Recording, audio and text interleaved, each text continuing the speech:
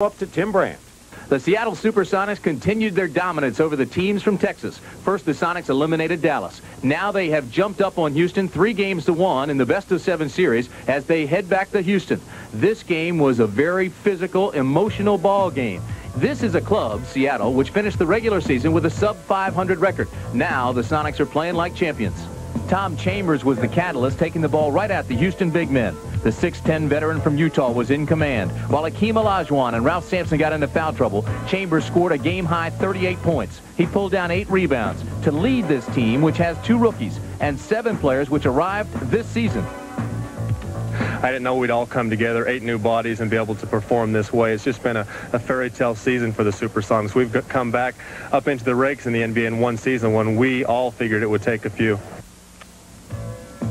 Seattle head coach Bernie Bickerstaff orchestrated a brilliant victory, and as Seattle Supersonics now move on to Houston with a 3-1 lead in the best of seven series and the attention of the entire NBA.